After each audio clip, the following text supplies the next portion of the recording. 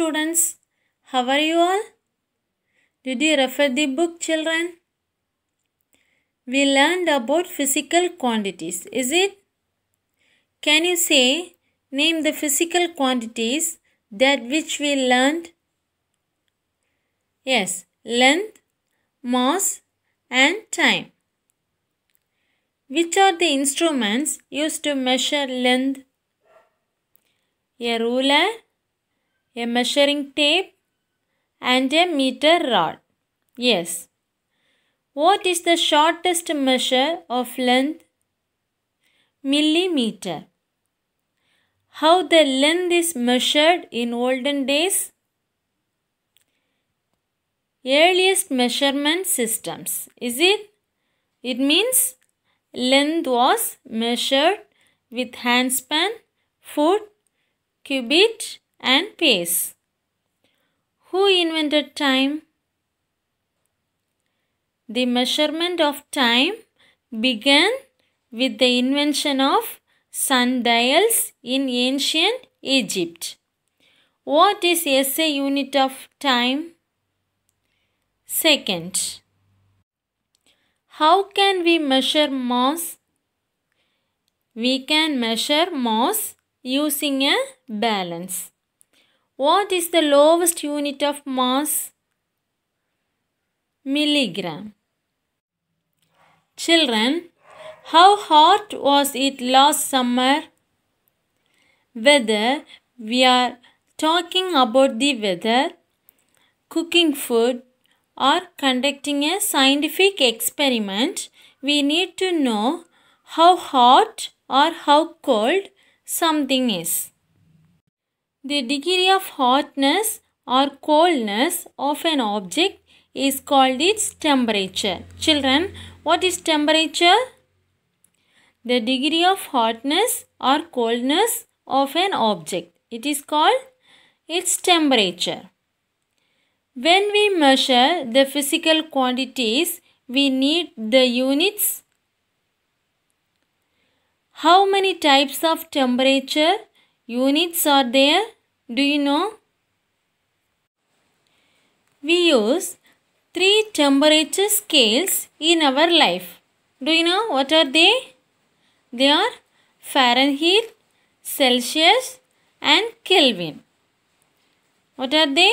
Fahrenheit, Celsius and Kelvin. Okay. Kelvin is the base unit of temperature in the SI system. We are used to expressing temperature with degrees Fahrenheit and scientists use degrees Celsius. Children, what is the normal range of body temperature? The normal body temperature is accepted as 98.6 degree Fahrenheit or 37 degree centigrade. In Celsius, 37 degree Celsius. In Fahrenheit scale, we have to measure 98.6 degree Fahrenheit. Okay. A temperature over 100.4 degree Fahrenheit or 38 degree centigrade means you have a fever caused by an infection or illness. Okay, first we are going to study about Celsius. Okay, Celsius scale. The Celsius scale, it is also called centigrade. The Celsius scale was first presented by Anders Celsius in 1742. Who was presented the Celsius scale? Anders Celsius. Okay. The freezing point of water is defined as 0 degree centigrade and the boiling point as 100 degree centigrade. Okay. The difference between these two points is divided into 100 equal pots. Each pot corresponds to 1 degree Celsius. Okay. What is the freezing point of water in Celsius scale? 0 degree centigrade. What is the boiling point of water in centigrade? 100 degree centigrade. Next scale is Fahrenheit scale. Okay, this Fahrenheit scale was first introduced by Daniel Gabriel Fahrenheit. Who introduced the scale? Daniel Gabriel Fahrenheit. Fahrenheit temperature scale is based on 32 degree Fahrenheit for the freezing point of water and 212 degree Fahrenheit for the boiling point of water. What is the difference between the two points? The difference between the two points it's into 180 equal parts. Each part corresponds to 1 degree Fahrenheit. Okay. Who introduced this Fahrenheit scale? Daniel Gabriel Fahrenheit. What is the freezing point of water? 32 degree Fahrenheit. What is the boiling point of water? 212 degree Fahrenheit. The freezing point of water being is 32 degree Fahrenheit and the temperature of human body being 96 degree Fahrenheit. It is easy to see that the temperature of a human body. Okay. Next scale is Kelvin. The Kelvin is often used in science and technology. This Kelvin scale was introduced by Lord Kelvin. Okay. Who introduced this Kelvin scale? Lord Kelvin. In the Kelvin scale, the freezing point of water is defined as 273.16 Kelvin and the boiling point is 373.16 Kelvin. The size of on Kelvin is the same as the size of a Celsius degree. These are the three types of scales used to measure the temperature. What are they? Fahrenheit, Celsius and Kelvin. Do you have thermometer at home? Yes. When you feel like you have a fever, the first thing you do is to take a thermometer and record your temperature. Is it? And also, you can take someone's temperature quickly and easily using a thermometer. If we affected fever, what to do? We should go to the hospital. First, we will check our temperature. Is it? Our temperature measured by using thermometer. Children, do you know the structure of thermometer? Listen here. Thermometer is made up of a long narrow glass tube with a bulb at one end and filled with mercury at the end of a long capillary tube. Mercury is a metal which is in liquid state at room temperature 25 degree centigrade. Mercury is silvery and shiny. It is liquid state but it does not stick to the walls of the capillary tube. This capillary tube enclosed by a tube. It is called stem. In which metal used in thermometer? It is mercury. Okay, it is a metal but it is in liquid state. As the temperature around the thermometer's bulb heats up, the liquid rises in the glass tube. When it is hot, the liquid inside the thermometer will expand and rise in the tube. When the bulb comes in contact with a cold object, the mercury contracts and goes down the capillary tube. In some thermometers, colored alcohol is used instead of mercury. Do you know the freezing point of mercury? The freezing point of mercury is minus 39 degree Celsius and the boiling point of mercury is 357 degree Celsius and also the freezing point of alcohol is minus 115 degree Celsius and the boiling point of alcohol is 78 degree Celsius. We will study about clinical thermometer. Okay, this is the clinical thermometer. It is used to measure the temperature of a human body. The tip of the thermometer is placed under the tongue for 2 minutes and then taken out. The stem of the thermometer has markings from 95 degree Fahrenheit or 35 degree centigrade to 108 degree Fahrenheit or 42 degree centigrade. In Celsius scale, 35 degree Celsius to 42 degree Celsius. In Fahrenheit scale, 95 degree Fahrenheit to 108 degree Fahrenheit. Okay.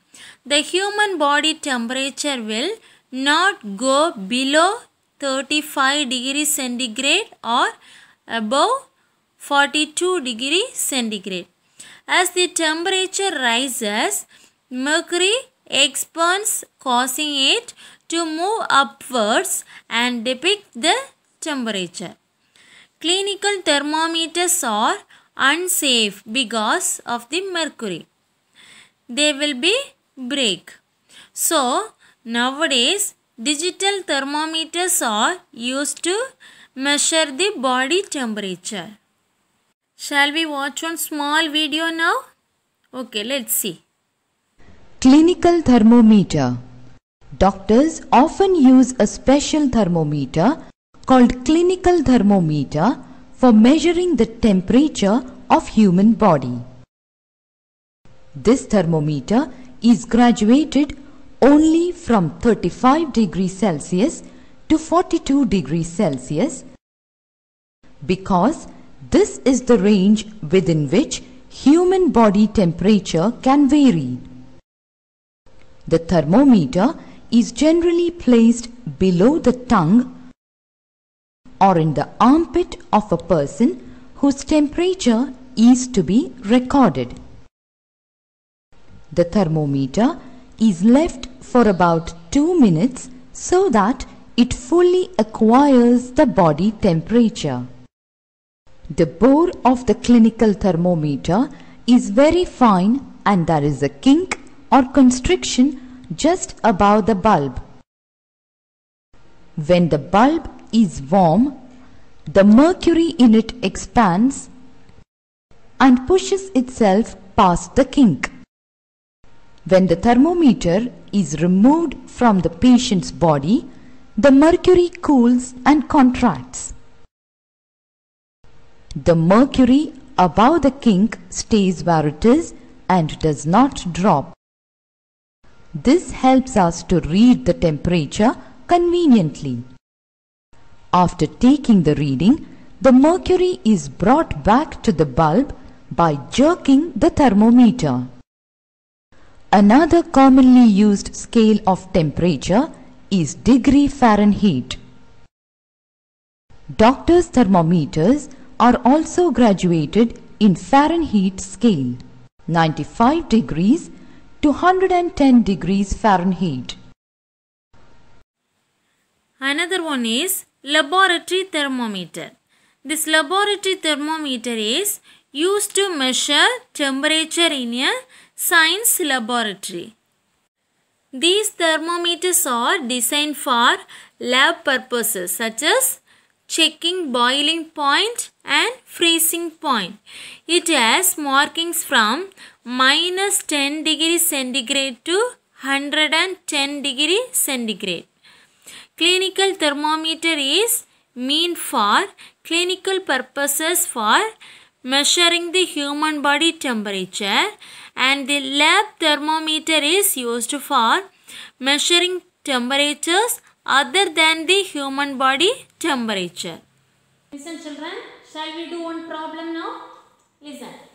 This is from book page number 34, 10th question. You should copy these problems in your booklet. Okay children, listen here.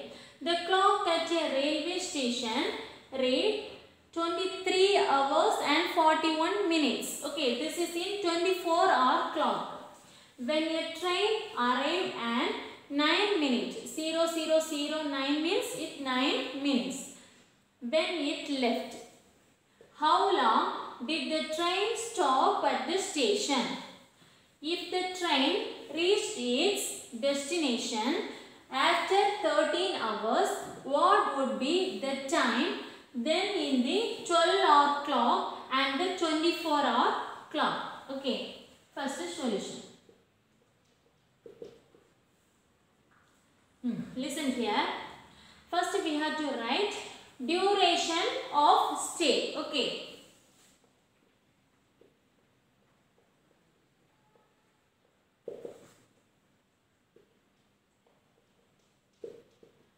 Duration of stay. We have one day we have 24 hours. Is it? One day we have 24 hours. So we have to write from 24 hours we should subtract 23 hours and 41 minutes. 23 hours and 41 minutes. Okay. This is 24 hour. This is for 24 hour clock. 24 hours and 23 hours and 41 minutes. Okay. Then plus 9 minutes.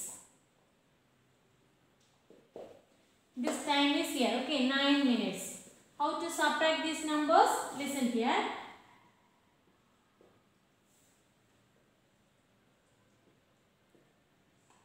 the subtraction. Okay. In normal number, we have to borrow from here. Is it like this also? Here we have to borrow this number. But when we borrow this number, here it will be changed 10. Is it? Listen here. But here how to borrow? Listen. From 24, 1 hour is equal to 24 hours. Is it? Sorry, 1 hour is equal to 60 minutes. 1 hour is equal to 60 minutes. When we borrow from here, from here we have to borrow one number. It will be changed into 60 minutes. Okay. 1 hour is equal to 60 minutes. So, from here we have to borrow one number. It will be changed into 60 minutes. Here 3. So, we have to subtract this number from here. This is 10. Okay. This is 5. How to subtract this? From 10, 9, 5 minus 4, 1, 19. Here 0, 0. Okay. So, we got 19 minutes. Plus 9 minutes. is equal to total 28 minutes.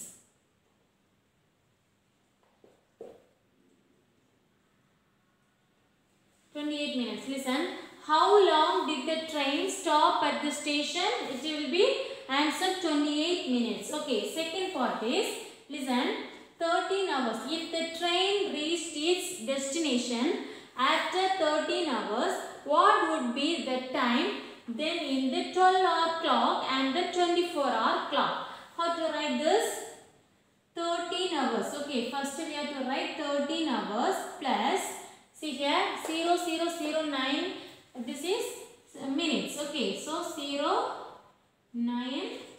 minutes is equal to, this is 13 hour. We have to add this number, 13 hour and 9 minutes. 9, 0, 30. Okay. So, answer is 13 hours. This we have to write in 24 hour clock and 12 hour clock. How to write? 13, 0, 9 hours in 24 hour clock.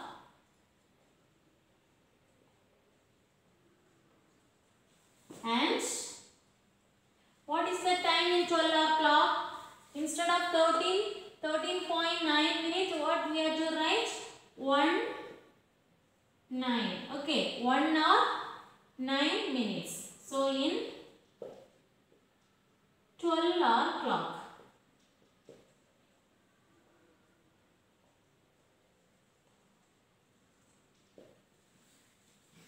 Okay children, this is 1 9 pm. Okay, we have to write pm. pm in 12 hour clock. Did you understand this? Duration of stay 24 hour hours minus 23 hours and 41 minutes plus 9 minutes is equal to 19 minutes plus 9 minutes equal to 28 minutes. Next 13 hours plus this 9 minutes. Okay, 9 minutes is equal to 13 hours and 9 minutes.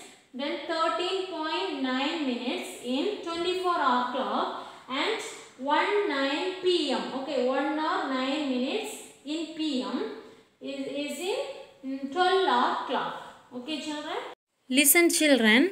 One day I given this homework for you. Is it page number 26? I given this homework.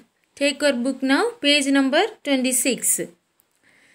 These clocks show timings from morning 6 am to evening 6 pm. Write down the time in 12 hour clock and 24 hour clock. Okay, this clock mentioned the time morning 6 am to evening 6 pm. Shall we check the answers now? Listen here. First clock. It is in 12 hour clock 12:10 pm. Okay. Next in 24 hour clock 12:10 12:10 hours. Second picture. It is the time in 12 hour clock 1 pm in 24 hour clock 13 hours. Third one. In 12 hour clock the time is 3:30 pm in 24 hour clock 15:30 hours. 15:30 hours fourth one in 12 hour clock the time is 10:15 am in 24 hour clock the time is 10:15 hours. Fifth picture in 12 hour clock the time is 4:15 pm in 24 hour clock the time is 16:15 hours. 16:15 hours listen children. This is the study portion for you. Page number 32 we can check the answers now. Choose the correct answer. First question.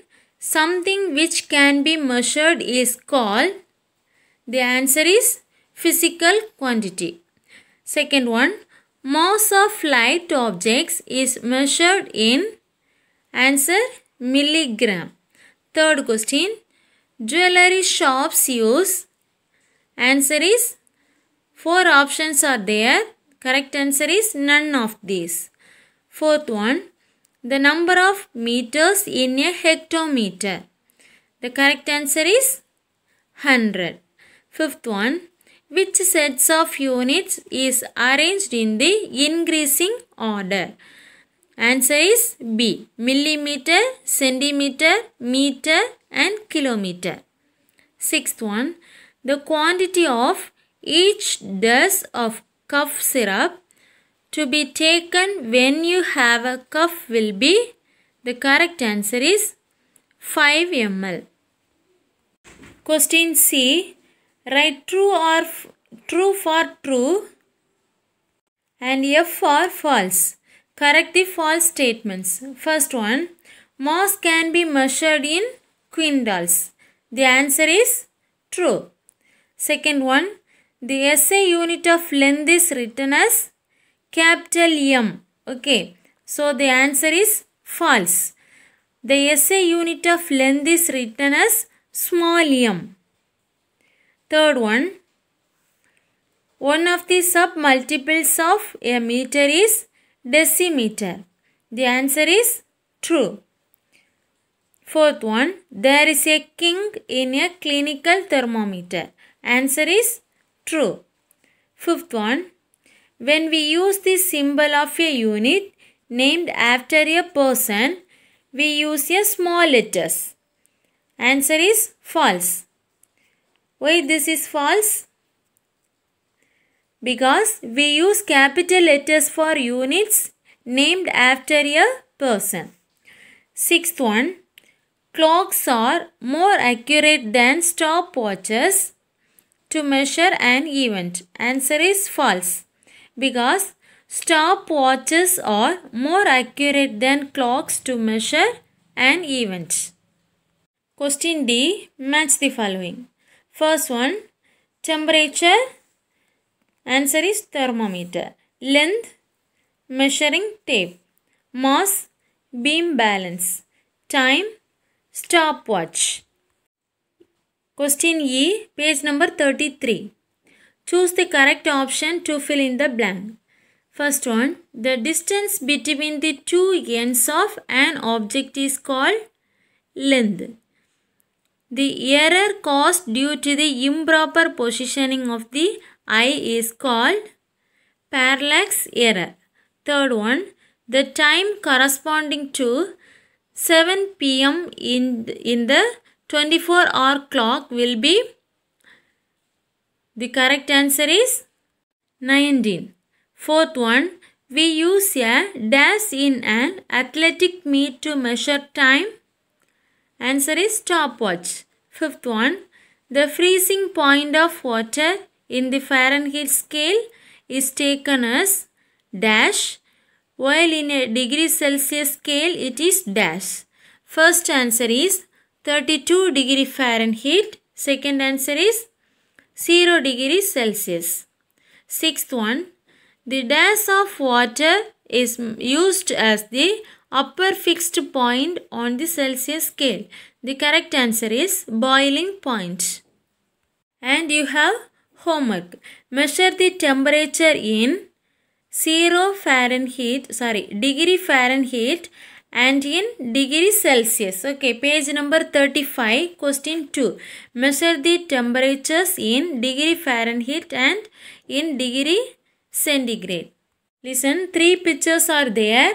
In degree Celsius and degree Fahrenheit, you have to find out the correct number and write it here. Okay. Third one, measure the following in millimeter.